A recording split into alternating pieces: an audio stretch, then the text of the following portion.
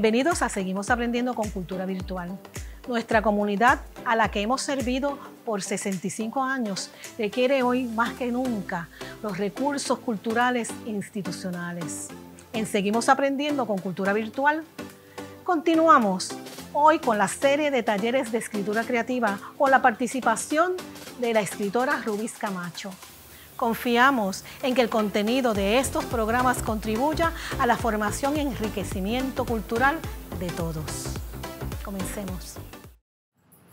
Hola, otra vez con ustedes. Mi nombre es Rubis Camacho y esta es nuestra segunda reunión para hablar eh, sobre la creación literaria. Nuevamente, nuestra gratitud al Instituto de Cultura puertorriqueño y por supuesto a la National Endowment for the Arts que hace posible que este proyecto se lleve a cabo. La vez pasada hablamos sobre por qué escribes. Y recuerdo que te sugerí algunos ejercicios cuyo fin mayor eran soltar la mano. Era que te sentaras a articular el pensamiento, a escribir y un tanto fue una primera sesión introductoria. Hablamos de conceptos importantes en la escritura.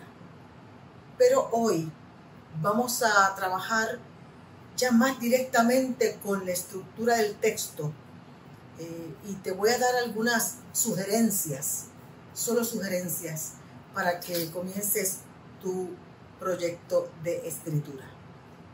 ¿Cuáles son los tres temas que vamos a cubrir en la reunión de hoy? Lo tengo por aquí.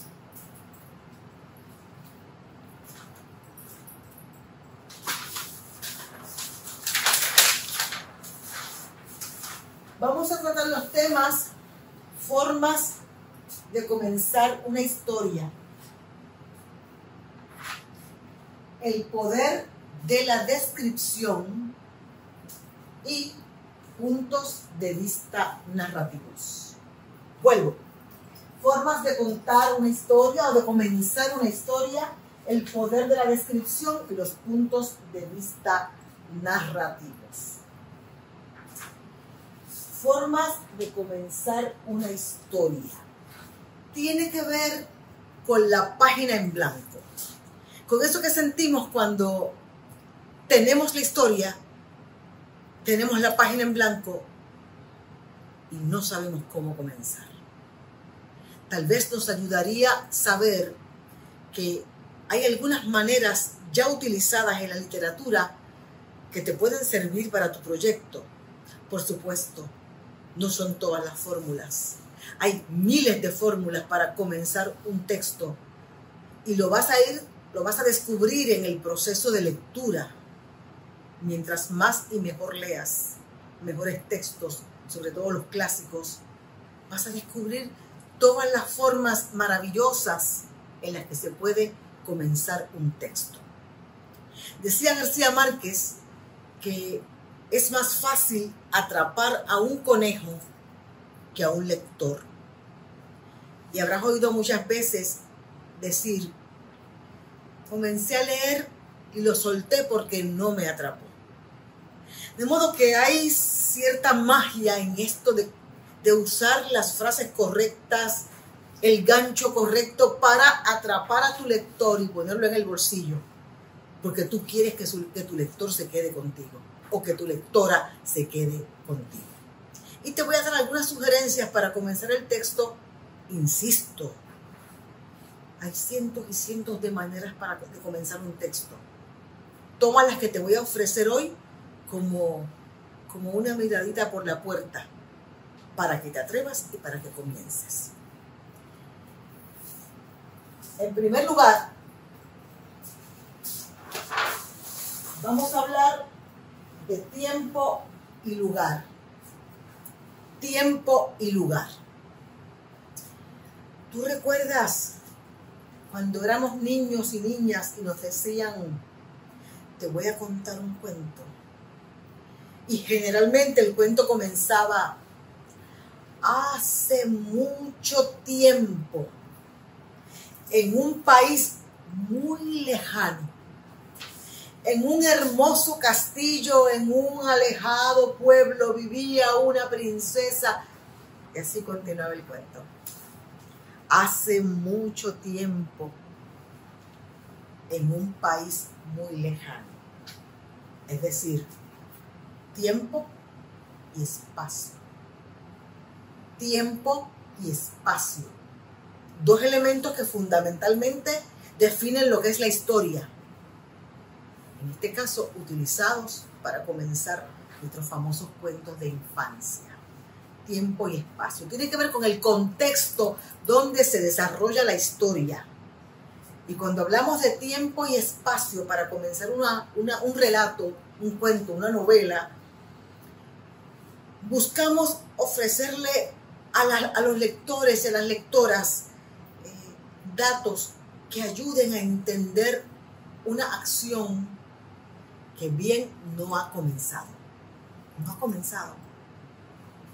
Pero comenzamos dando una información valiosa para que el lector o la lectora se ponga en contexto con la historia. Miren algunos ejemplos. Tiempo y lugar. El primer ejemplo fue allá para el 1898, cuando mi abuela, trepada en un árbol de tamarindo que dominaba el monte La Marquesa, escuchó el ruido de los perros. Fue allá para el 1898, cuando mi abuela, trepada en un árbol de tamarindo que dominaba el monte La Marquesa, escuchó el ruido de los perros. Fue allá para el 1898, tiempo, sobre el árbol de tamarindo, trepada en un árbol de tamarindo que dominaba el monte La Marquesa, lugar, tiempo y lugar. Vean el segundo ejemplo. Esto pasó en septiembre, no en el septiembre de este año, sino en el del año pasado. ¿O fue el antepasado? Melitón. Es la frase inicial, la oración inicial con la que comienza el cuento el día del derrumbe, nada más y nada menos que del gran Juan Rulfo, el escritor mexicano, a quien leyó García Márquez y después dijo, después de leer a Rulfo, yo supe el escritor que quería ser. Esa línea es de Juan Rulfo. Esto pasó en septiembre, no en el septiembre de este año, sino en el del año pasado o fue en el antepasado Melitón. Tiempo, pasó en septiembre. Y más adelante vamos a ver que Melitón, que Melitón en el relato, es un personaje que recrea el espacio donde está, donde está la voz narrativa, tiempo y espacio. Este tipo de introducción o este tipo de primera línea en un relato permite que, que se pueda informar al lector o la lectora sobre un tiempo y lugar específico, pero también sobre un momento generacional, sobre un momento histórico, eh, sobre una tendencia, sobre una moda, tiempo y lugar, moda en tiempo y lugar, guerra en tiempo y lugar, los hippies, tiempo y lugar. Y el lector o la lectora va entrando en la esfera donde se desarrolla la historia. Otra manera de comenzar un texto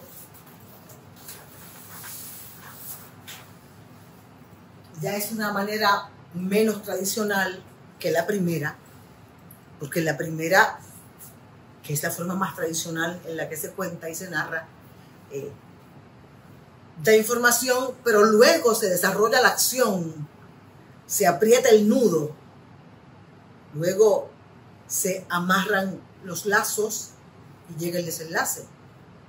Pero en este tipo de, de frase inicial, de oración inicial, que no es tradicional, entramos directamente a informarle a los lectores y a las lectoras el conflicto. Es el tan llamado inmedia res. Entramos directamente en el conflicto. Miren esta maravillosa línea, oración de tres palabras. Ambos somos feos. Ambos somos feos. La primera línea de ese maravilloso cuento de Mario Benedetti, del uruguayo Mario Benedetti, La noche de los feos. Si usted quiere leer un cuento exquisito, lea La noche de los feos. Y si usted quiere que su noche sea más exquisita todavía, lea La noche de los feos y después inmediatamente lea el cuento No le digas que la quieres de Senel Paz, el cubano. Y si quiere que su noche sea inolvidable, son cuentos cortos. Lea La noche de los feos. No le digas que la quieres. Y la canción de Peronel, de Juan José Arreola. Y su noche será maravillosa. Ambos somos feos. Así comienza el cuento. Y usted dirá, pero ¿cómo decir que ambos somos feos puede ser una frase que describa, que plantee el conflicto? Claro. Tenemos que recordar que en una sociedad donde se glorifican ciertos patrones de belleza física, la gente que no cabe dentro de esos patrones crece muchas veces con la angustia y el miedo de ser feos, porque nos enseñaron lo que es lo bonito y lamentablemente casi siempre lo bonito es muy hollywoodense. El conflicto, el gran conflicto de estos dos personajes es que se sienten feos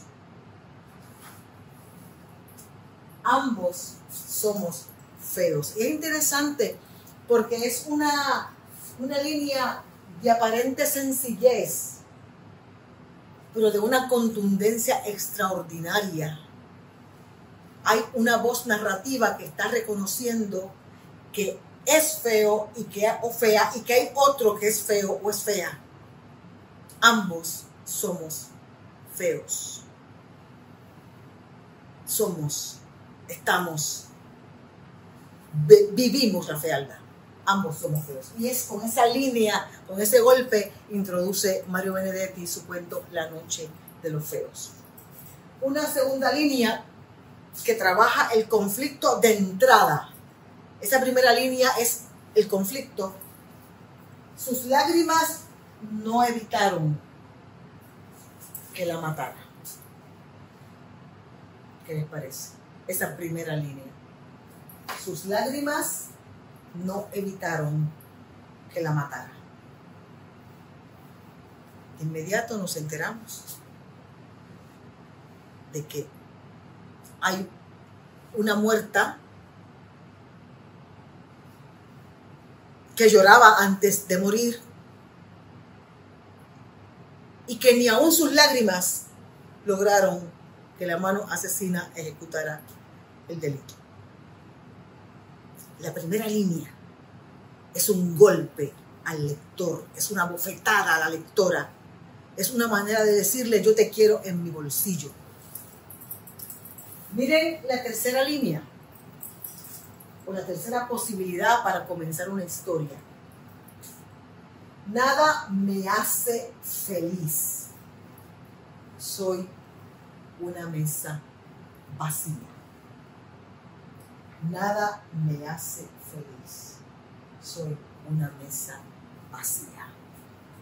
Yo no sé qué le sugiere a usted esa línea.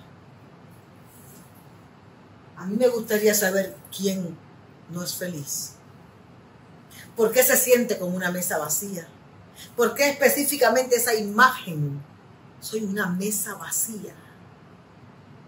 Porque no hay algo que le haga feliz esas preguntas, esas reflexiones las provoca una línea de entrada en la que presentamos el conflicto al lector.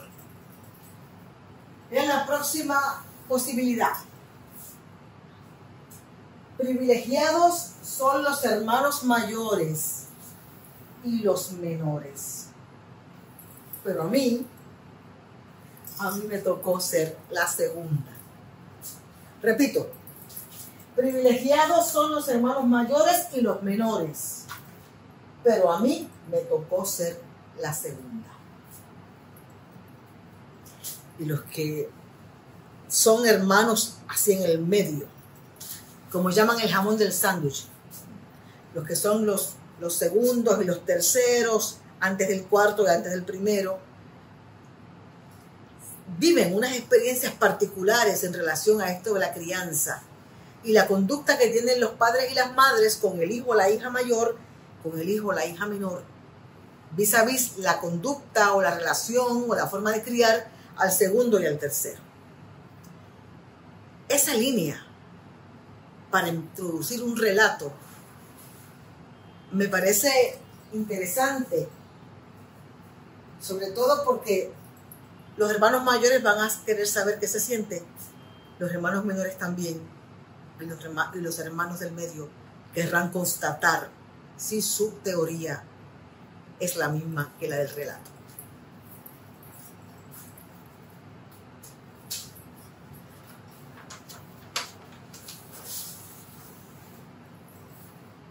Otra forma de comenzar la historia es describiendo un personaje. Vamos a ver el primer ejemplo. La niña Sara, oculta tras la puerta, apretaba sus largas y oscuras trenzas, apretaba los amarillos dientes y entrecerraba los ojos pardos heredados de su padre. La niña Sara, oculta tras la puerta, apretaba sus largas y oscuras trenzas, apretaba los amarillos dientes y entrecerraba los ojos pardos heredados de su padre. Tenemos toda una descripción de un personaje el largo y el color de las trenzas, el color de los dientes, el color de los ojos. ¿De quién heredó el color de los ojos? De esa forma, en esa primera línea, le entregamos al lector o a la lectora la imagen, el retrato de nuestro personaje. Vean el segundo. Dada la, gran gama de posibilidades cuando creamos un personaje, en este caso el protagonista o el, personaje es un cerdo. El cerdo ampuloso alargó la jeta rosada y la carne blanca, matizada de vellos rubios, se convirtió en armiño. El cerdo ampuloso alargó la jeta rosada y la carne blanca, matizada de vellos rubios, se convirtió en armiño. Y esta es la descripción del personaje que es el cerdo. Las líneas a las que no he dado autores, porque son líneas que yo he preparado para, para, este, para esta presentación y para mis talleres de creación literaria, eh, de modo que cuando vean que no les digo de quién es la línea, es porque las he preparado yo para, para mis presentaciones en particular.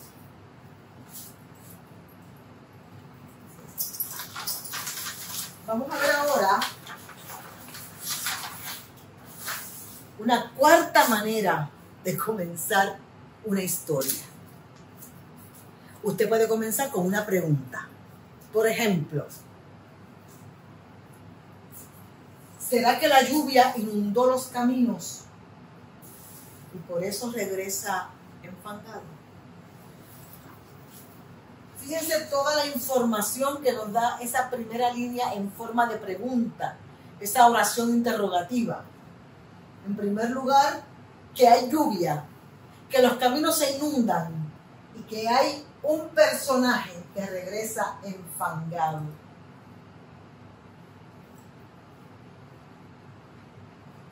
Que puede ser una persona, que puede ser un animal. Esa primera línea nos da todas esas posibilidades. Miren la, la segunda pregunta. Si usted comienza a leer un relato que en la primera línea dice, ¿por qué no llega? Usted quiere saber quién no llega, dónde está, qué hace, por qué no llega, quién lo está esperando, por qué lo espera. Todas esas preguntas secundarias alrededor de una primera línea formulada a base de una pregunta. En tercer lugar, ¿a qué hora habrá llegado la mujer triste? ¿A qué hora habrá llegado la mujer triste?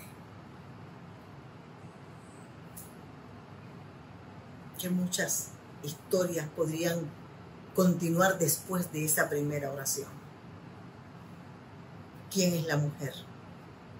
¿Por qué está triste? ¿De dónde viene? Porque a esas horas todas esas preguntas las querrá contestar el lector o la lectora con esa primera oración. Esta es una pregunta dura, muy dura. Que aún no te has casado.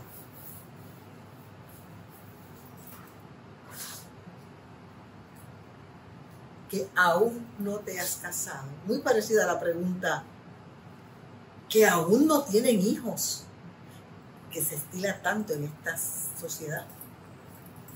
Que aún no te has casado y el lector la lectora quiere saber quién no se ha casado, por qué no se ha casado, cuál ha sido su historial amoroso, quién le está preguntando, por qué no le creo, por qué tiene tantas preguntas, por qué le causa tanta, tanta curiosidad que no se haya casado.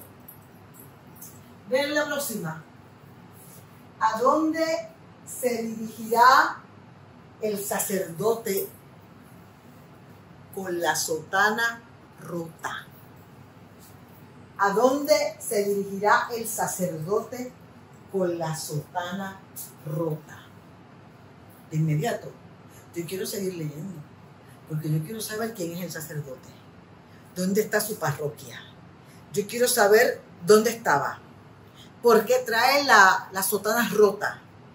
Yo quiero saber hacia dónde se dirige todo eso porque la primera oración es una pregunta que provoca otras preguntas.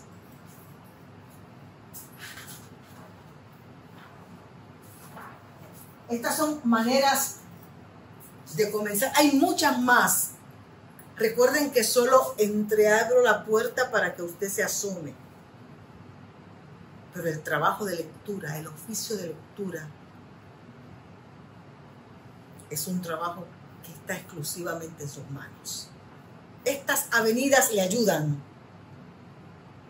Puede que le provoquen escribir. Pero escribir mejor, cada vez mejor, es respuesta, es consecuencia de la buena lectura.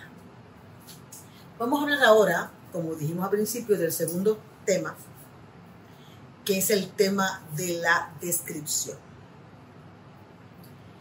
Y la descripción es muy importante en un texto porque generalmente la gente describe con la intención de que el otro o la otra vean el panorama, el paisaje, el personaje, la casa, el espacio. La descripción tiene la función de traer acá al lector o a la lectora es llevarlo conmigo en el relato, que se monte en el tren, que esté dentro del aposento, que sienta el texto. Yo les planteo hoy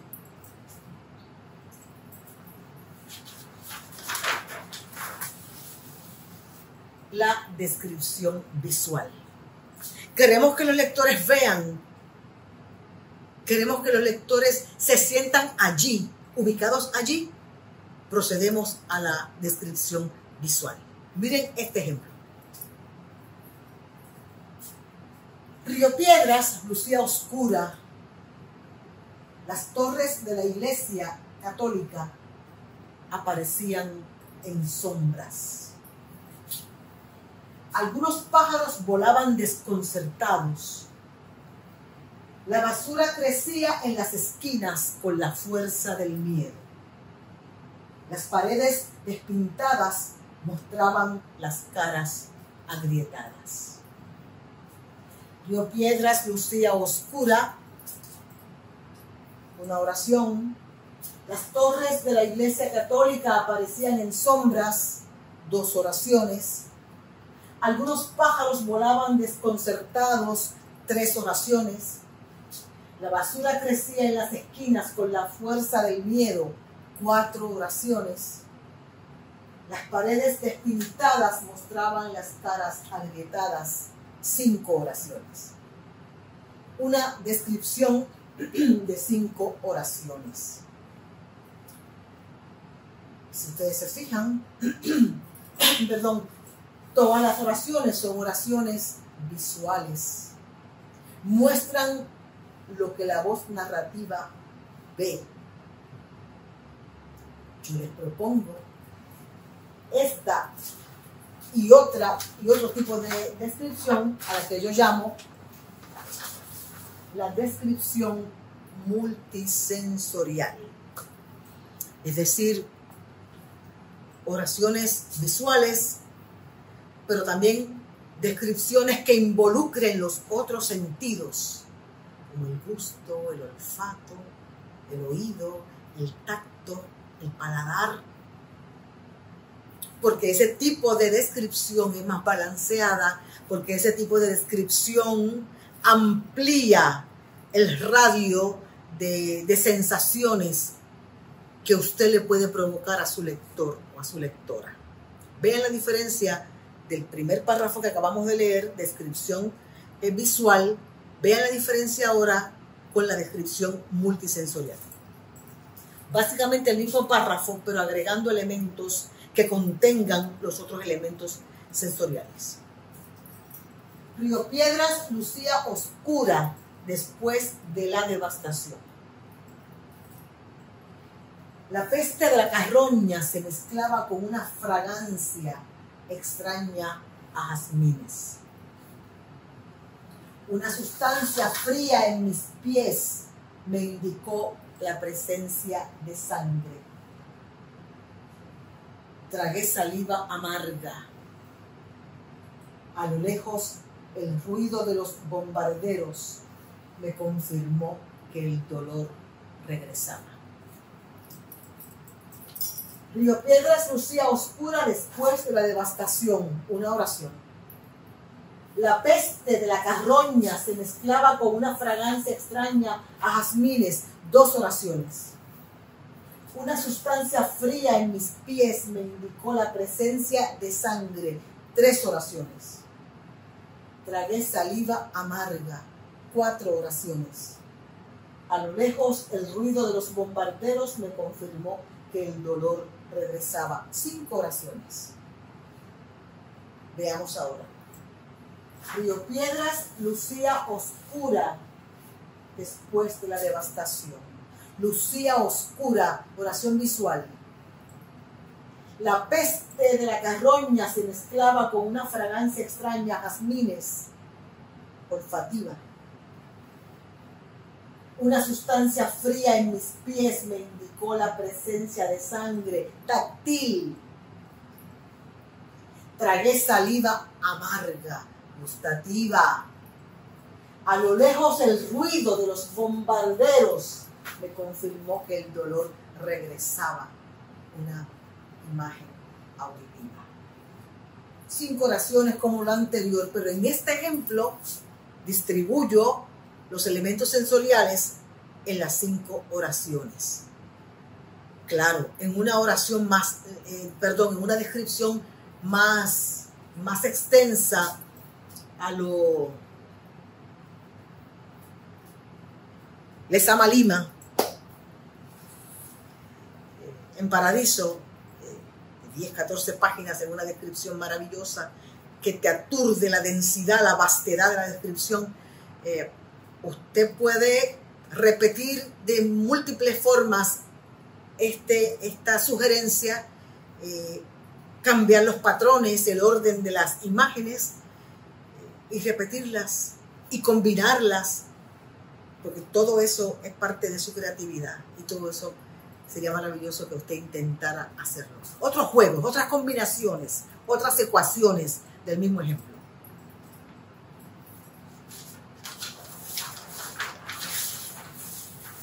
Voy a dar el último ejemplo con relación a la descripción multisensorial. Miren arriba y lo vamos a ver luego abajo, como hicimos hace un rato, primero arriba es visual y luego multisensorial. Arriba dice, las aves volaban alto, las nubes eran deformes y de un blanco extraño. Sobre la torre del convento se dibujaba una sombra. Las hermanas caminaban cabizbajas, la cruz del pórtico atemorizaba. Son cinco oraciones, como la vez anterior, solo cinco oraciones todas visuales. Veamos ahora el párrafo en la descripción multisensorial. Las aves volaban alto. Las nubes eran copos de lechosa dulce. Sobre la áspera y descascarada torre del convento se dibujaba una sombra. Las hermanas caminaban cabizbajas murmurando palabras que sonaban a canciones. La cruz herrumbrosa del pórtico imponía su olor acre. Arriba, cinco oraciones visuales, las aves volaban alto visual, las nubes eran copos de lechosa dulce, gustativa, la imagen es gustativa, sobre la áspera y descascarada torre del convento se dibujaba una sombra, una oración táctil. Se siente la aspereza de la pared. Las hermanas caminaban cabizbajas, murmurando palabras que sonaban a canciones, imagen auditiva. La cruz herrumbrosa del pórtico imponía su olor acre. Una oración olfativa, una imagen olfativa. Yo les propongo que, hagan el ejercicio una y otra y otra vez, eh, porque la descripción toma otros, otros ribetes, la descripción busca a su lector y agarra a su lector eh, o a su lectora por alguno de los sentidos, por alguno de los sentidos.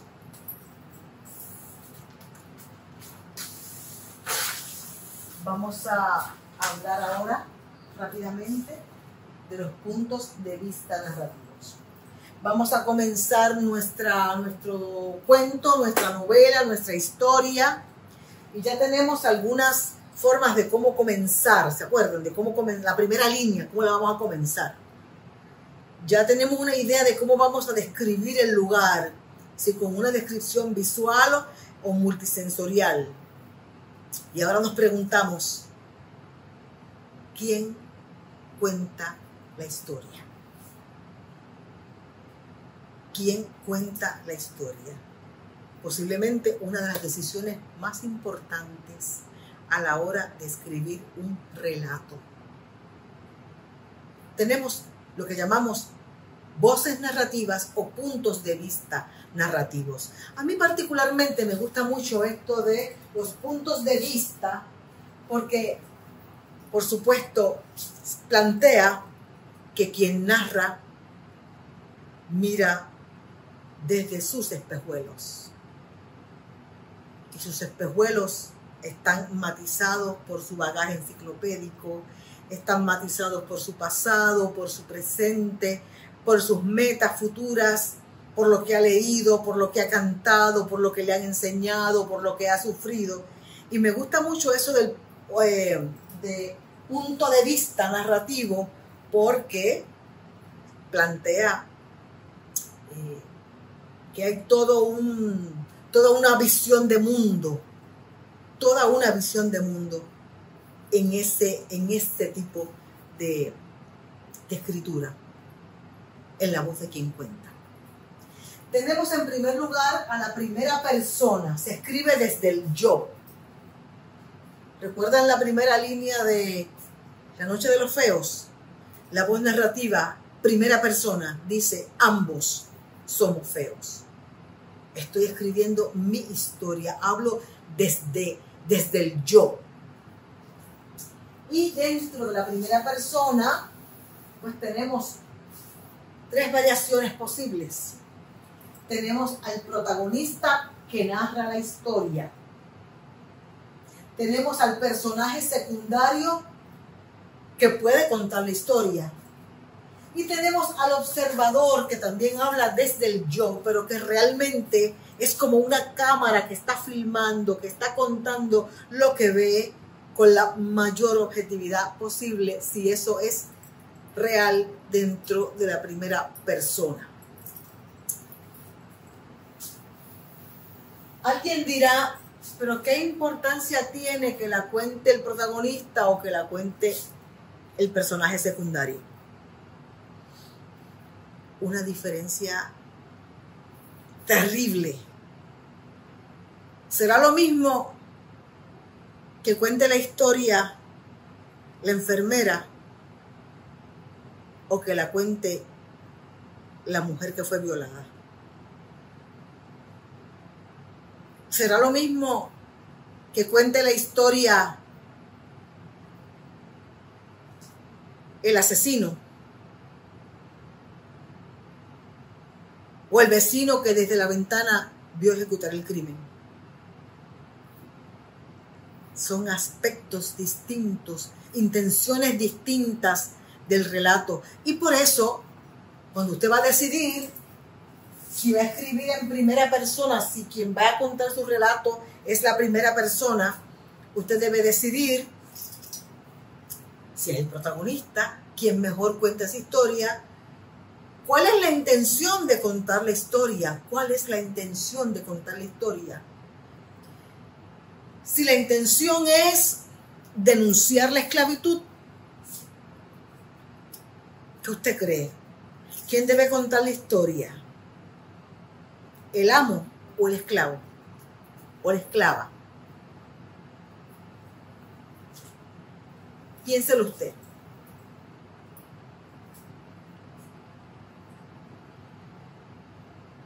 Si la idea es denunciar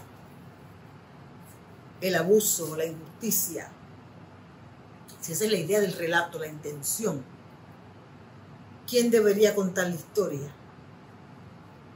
¿El abusador o el abusado? No digo que no sea buena idea que la cuente el abusador. Eso sería un texto muy interesante, un personaje detestable que bien construido es un personaje maravilloso, porque no somos quienes para juzgar nuestros personajes. Los personajes son y punto. Sería interesante escuchar al abusador contar la historia. Y si la cuenta desde su lujuria y desde su morbosidad, es igualmente válido. Porque la literatura no es moral ni inmoral. Es amoral. Se escapa a las categorías de la moral. Pero debe estar muy bien construido de forma tal que a través de ese relato, aún contándolo el abusador o contándolo el amo, si su intención es impugnar ese momento histórico, denunciar ese momento histórico, que el lector acá, que la lectora acá sienta con claridad la impugnación, la rabia, la desesperación, la impotencia ante ese momento histórico. Pero eso es una decisión que tiene que tomar usted. La segunda persona es una voz narrativa que no se utiliza tanto. Yo pienso que se utiliza más la primera persona y la tercera persona, pero es una voz encantadora. Es una voz encantadora. La segunda persona lo sabe todo, como la tercera persona, pero le habla al personaje nunca es parte de la trama. porque si es parte de la trama, se convierte en primera persona. La segunda persona le habla al personaje, lo sabe todo, pero nunca es parte de la trama. A esos efectos, busqué en mi archivo un ejemplo de una de las mejores segundas voces que yo he leído. Se trata del cuento Milagros Calle Mercurio. Nada más y nada menos que de la inmensa, de la gran escritora puertorriqueña Carmen Lugo Filippi, un cuento que aparece en la reunión de cuentos Vírgenes y Mártires, en la que comparte autoría con la gran escritora puertorriqueña también, Ana Lidia Vega. Y miren la parte final del cuento Milagros Calle Mercurio. Y escuchen a Carmen Lugo Filippi como escritora utilizando la segunda voz. Esa es la voz narrativa. Contemplas, Marina, la casita silenciosa al final de la calle y te preguntas en, en cuál rincón estará Milagros doliéndose de los golpes y en espera de los implacables moretones que irán floreciendo a medida que caiga la noche. De pesadilla en pesadilla vadeas los intermitentes desvelos y el amanecer te sorprende con la imagen obsesiva del Rada en trance ante el altar pecaminoso. Y durante ese martes sombrío, en tu ir y venir por el salón, la escena te persigue y por más que quieres abreviarla, no puedes porque se adhiere con, obstinación a tu pantalla. Por eso no te has dado cuenta de que son casi las 11 y aún no has puesto en orden los rolos y las hebillas. Qué impresionante eres, Marina. Esa mocosa ha alterado el orden de tu sacrosanta rutina. Pules cuidadosamente la formica de las improvisadas coquetas y con una hoja húmeda de periódico frotas los espejos que te entregan de pronto la imagen de la Milagros, sí, de ella misma. Estarás soñando, pero no. Está allí, junto a la puerta, mirándote parsimoniosamente, sin pestañear, un poco ladeada la cabeza a causa de la maleta que lleva en la mano izquierda sin volverte, la examinas en el espejo. Si ese, sí, es ella, no cabe duda. Un tanto diferente por la indumentaria que consiste en unos ceñidos maones de color vino. ¿Qué deseas, milagros? Casi susurras, incapaz de mirarla de frente, aunque siempre observando el espejo. Ella entonces da un paso decidido y saca del bolsillo derecho de su pantalón un flamante billete de 20. Billete que blande airosa y con tono suave pero firme. Y hace su reclamo. Maquíllame en Choking Red. Y córtame como te dé la gana. Un temblequeo apenas perceptible comienza a apoderarse de tus rodillas pero aún así no logras apartar los ojos del espejo donde la milagro se agranda, asume dimensiones colosales, viene hacia ti, sí, viene hacia ti en busca de una respuesta, de esa respuesta que ella urge y que tendrás que dar, que no puedes aplazar, Marina, mírala y mírate, Marina, que responderás de una muestra que nos está visitando en el día de hoy. Qué extraordinaria segunda voz.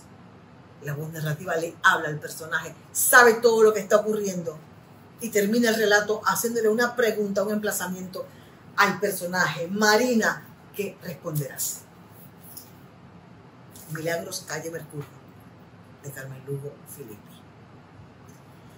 La tercera voz narrativa, pues, es la voz omnisciente, la que llamamos la voz de Dios, porque lo sabe todo. La tercera persona, que llamamos también el gran observador, porque sabía todo aún antes de que ocurriera. Omnisciente, omnipresente, omnitodo. Es la tercera persona. Eh, debo decir antes de finalizar que la primera persona, escribir en primera persona tiene grandes beneficios porque yo creo que tu mayor alegría, tu mayor dolor, tu mayor angustia, tu mayor logro, si se cuenta desde la primera persona, el personaje lo cuenta desde su yo, es de una verosimilitud extraordinaria. Siempre contar desde el yo es una experiencia más íntima, más cálida. No obstante, ojo, porque contar en primera persona es saber que esa voz narrativa sabe de manera parcial. No es como la segunda y tercera persona que lo sabe todo. La primera persona sabe de forma parcial. Y en el relato cuenta lo que sabe. Lo demás lo puede especular, pero no asegurar. La tercera voz y la segunda voz pueden asegurar, pueden especular, no así la primera persona. Dicho esto, dicho esto, tenemos que terminar porque estamos aquí de aprender literatura. Dicho esto, le doy las gracias por reunirse conmigo en esta segunda ocasión. Gracias nuevamente al Instituto de Cultura Puertorriqueña. Nos vemos en la tercera presentación. Y a escribir, se ha dicho. Gracias. Hasta luego. Seguimos aprendiendo con Cultura Virtual es una iniciativa del Instituto de Cultura Puertorriqueña con el apoyo del National Endowment for the Arts. Toda nuestra programación está disponible a través de nuestras redes sociales. Los esperamos en el próximo encuentro de Seguimos aprendiendo con Cultura Virtual.